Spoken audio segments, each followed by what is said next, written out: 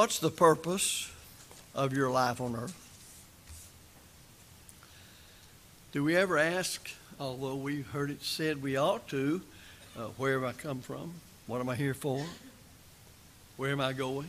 It all gets around understanding my purpose for life in the flesh on this earth.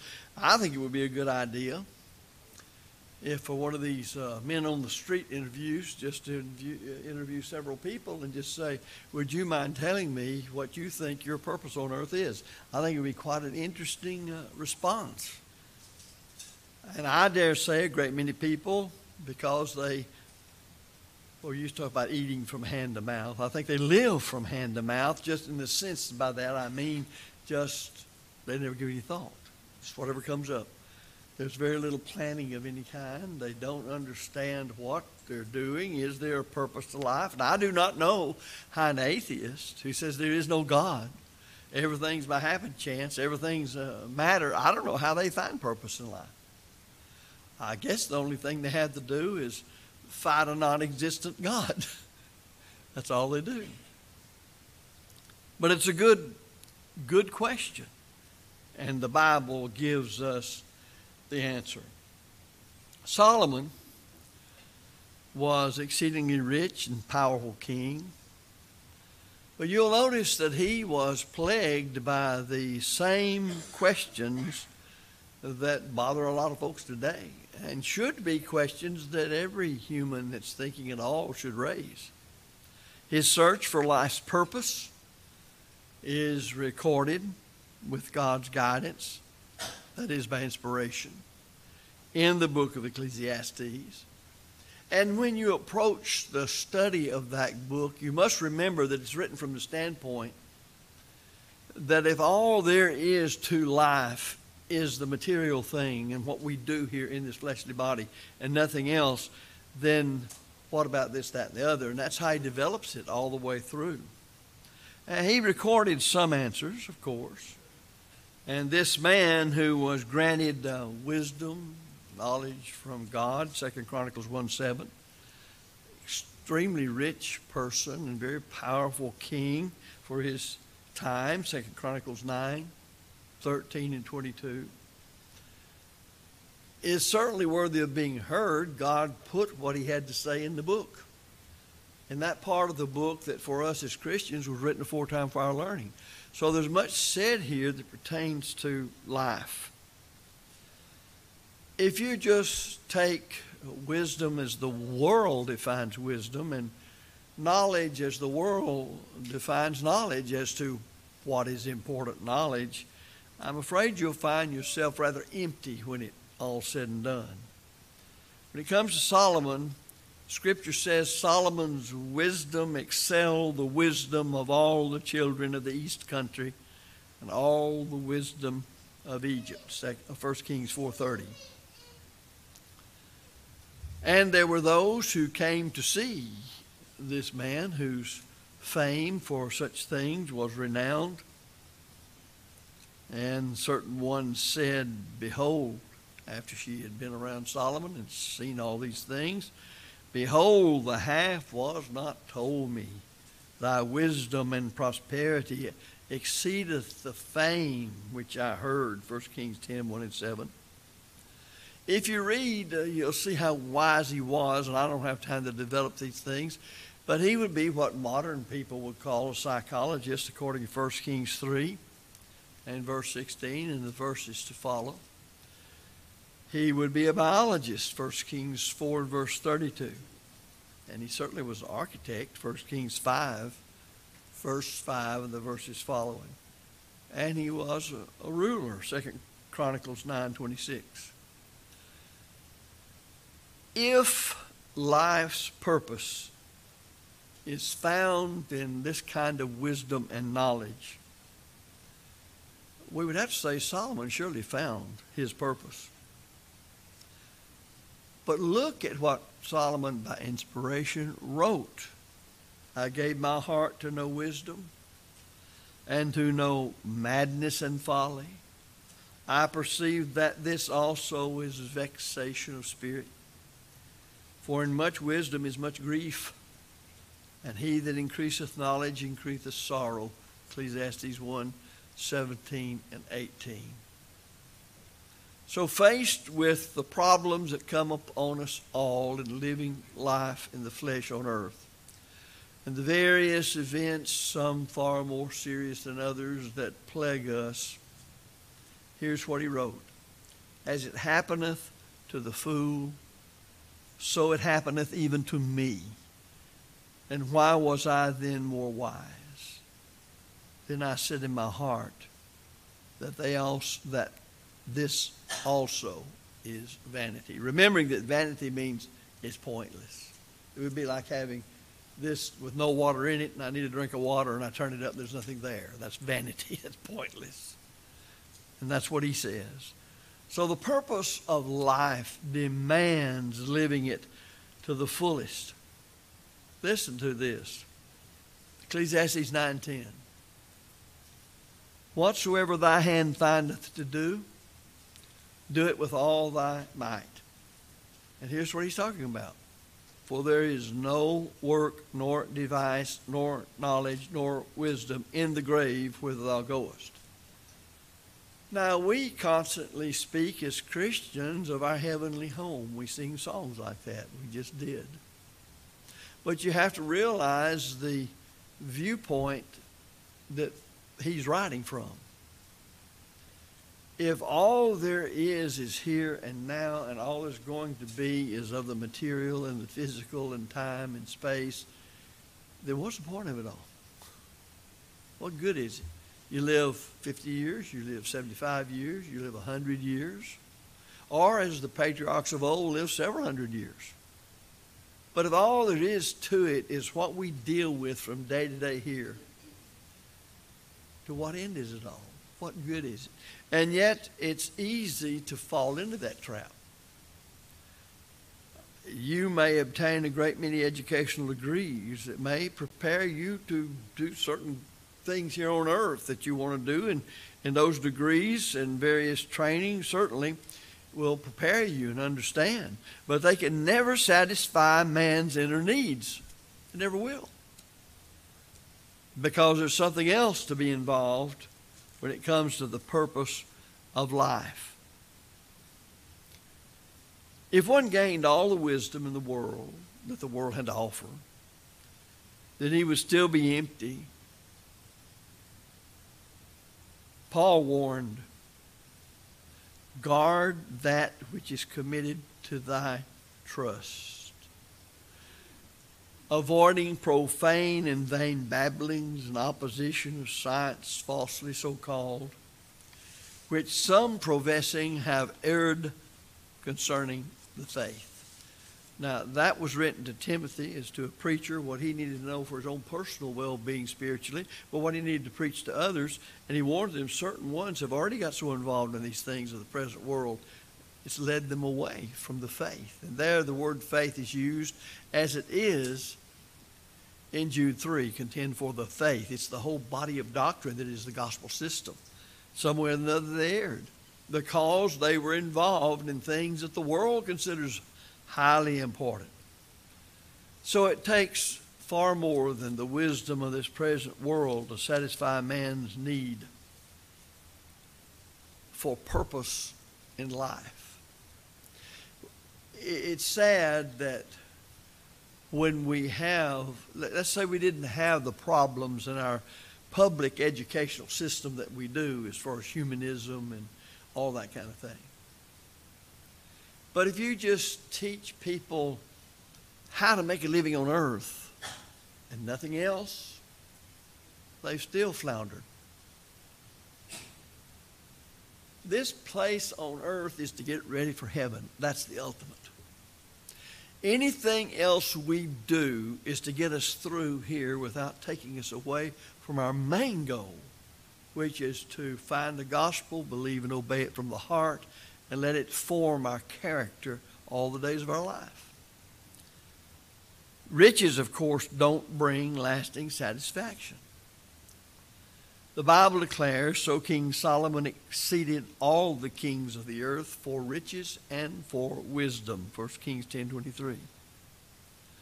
If you go back and look at his, uh, I guess we'd say it today, his uh, personal annual income in gold alone, it'd be worth in way over, and I don't know we get an exact uh, amount as to today's worth of gold compared to then, but it would be well over $200 million today.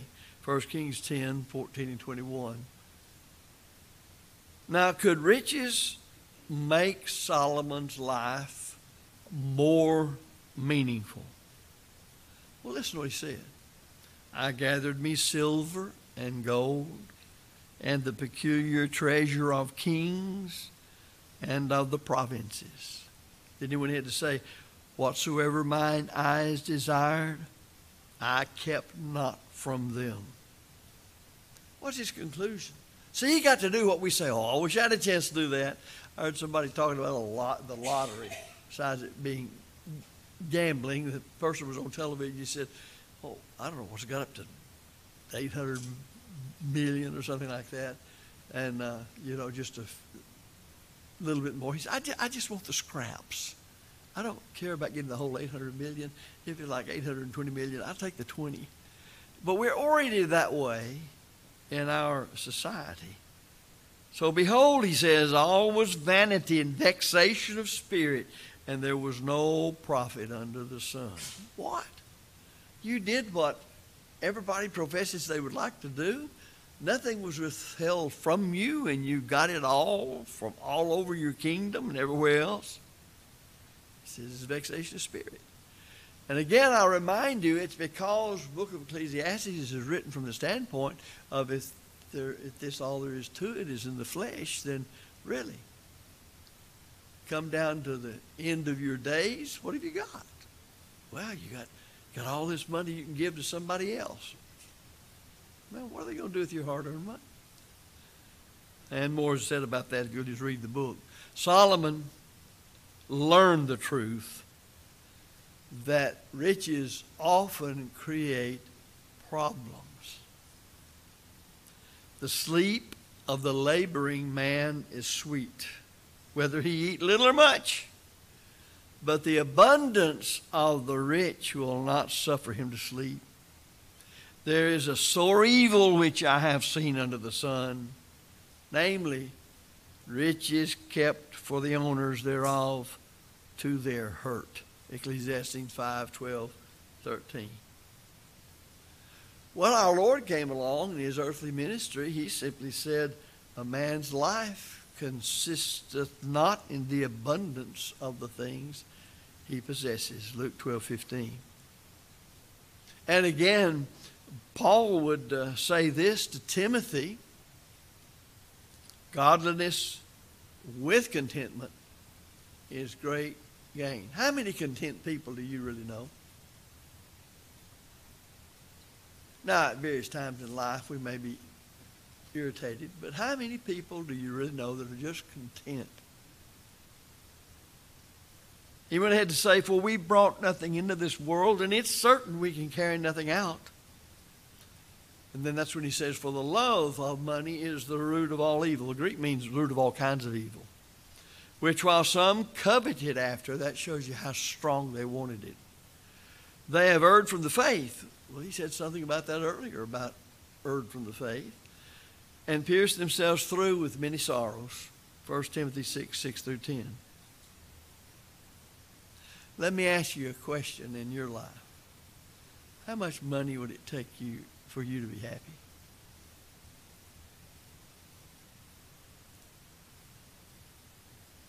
You know what the answer is to most people? Just a little bit more. Because if you have $100,000, the fellow with a million is the rich fellow. The fellow with a million dollars was the guy that's got 10 million. He's the rich guy. And to the fellow with 10 million, it's the fellow that has 50 million. And so on you go. There's no end to that kind of thing.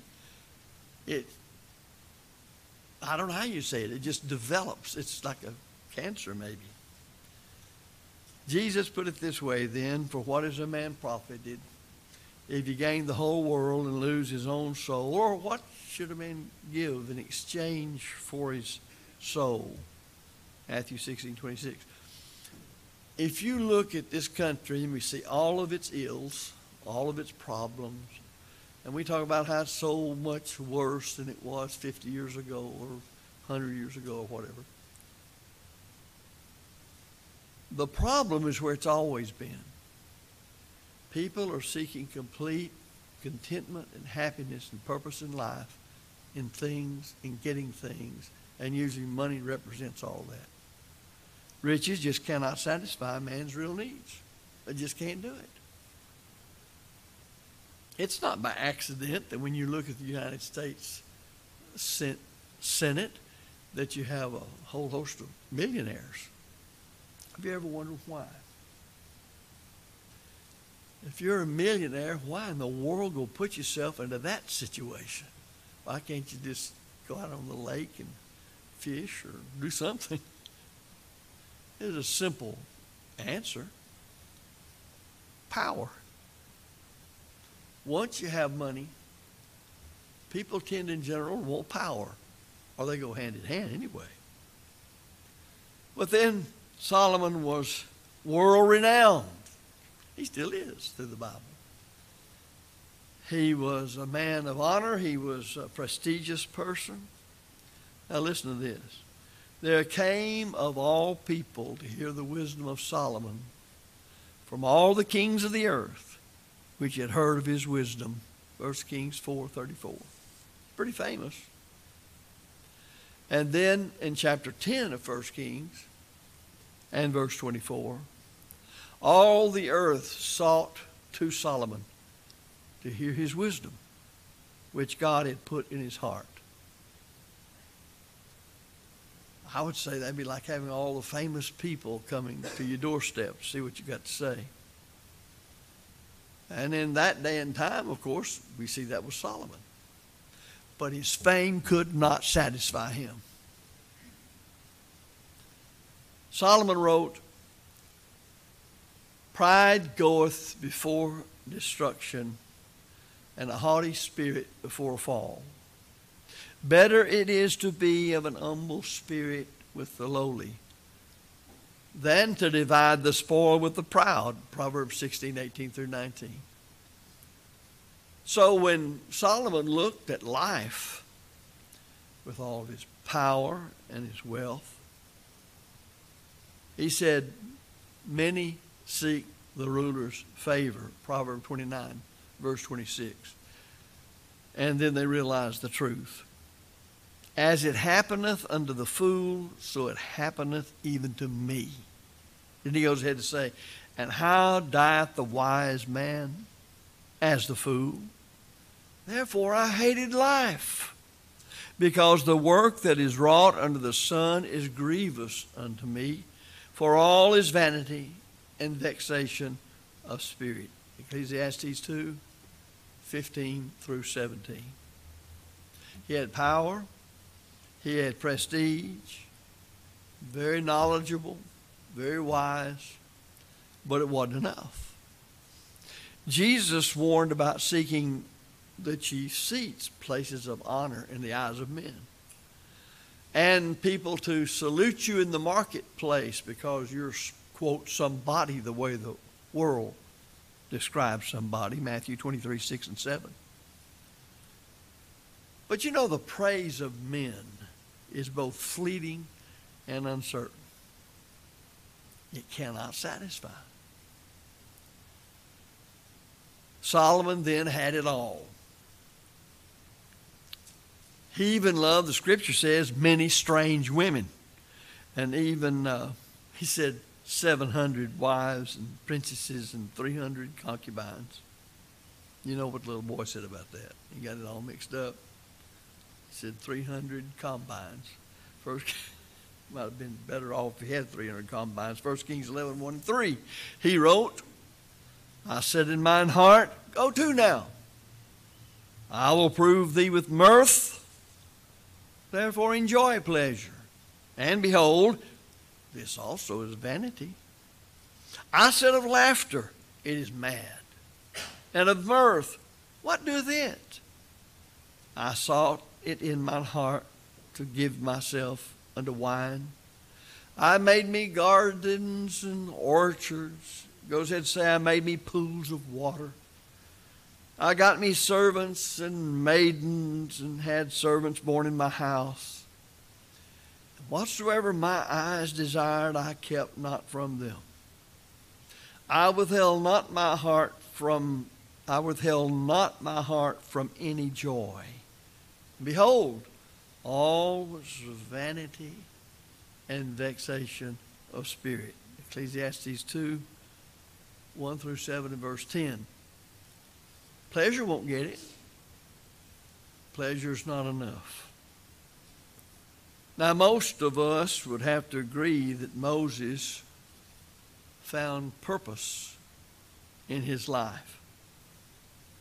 But you notice that it was not found in pleasure as far as Moses' own pleasure. And lo and behold, as we've studied on Wednesday night in Ken's class, we find by faith Moses choosing rather to suffer affliction with the people of God than to enjoy the pleasures of sin for a season. Hebrews 11, 24, 25. Now, in this case, we talk about Solomon being so wise. I would say Moses was far wiser than Solomon. There's a key phrase about pleasure as the world defines pleasure for a season. It doesn't last. Paul wrote in 1 Timothy 5 6, She that giveth herself to pleasure is dead while she liveth. That describes so many people in our world.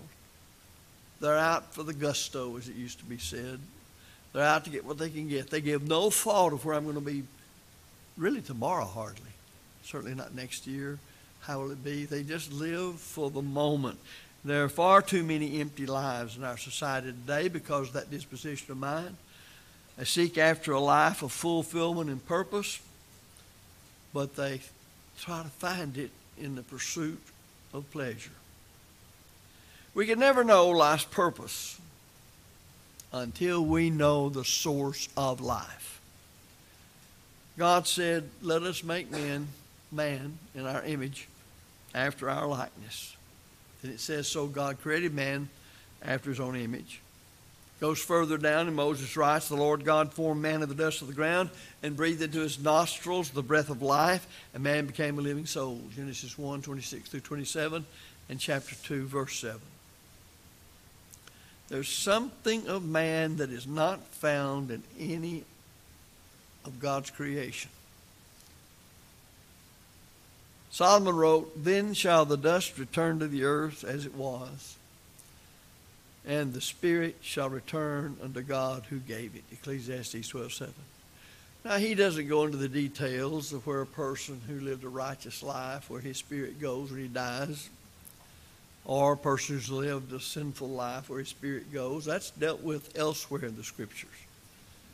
It just simply means when the spirit returns to God who gave it, you go into the eternal realms, into the place God's provided. But it doesn't cease to be. The body returns to the dust, but not, not so of the spirit.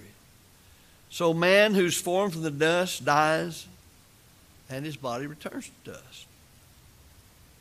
But again, aren't we happy and glad to be able to declare that's not all of man? The Spirit returns to God. So your purpose and mine is different from that of dogs and cows and other of God's creatures.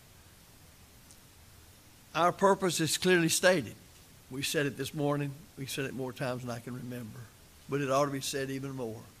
Let us hear the conclusion of the whole matter. Fear God and keep his commandments, for this is the whole duty of man. Now that's that's Solomon to the end of Ecclesiastes, Ecclesiastes 12, 13. After he's written that whole book from the standpoint of saying, here's where these people are who try everything to find purpose in life and happiness in life by the way the flesh calls pleasure and happiness and wealth and all that. But when he gets to the end of the book, he says, here's what you really learn. We might say it this way if you can truly conclude anything, it's this fear God and keep his commandments, for this is the whole duty of man. That's the purpose of life. Wasn't hard to figure out, was it? A lot harder maybe to do or to get people to believe, but that's the purpose of life in the flesh on earth.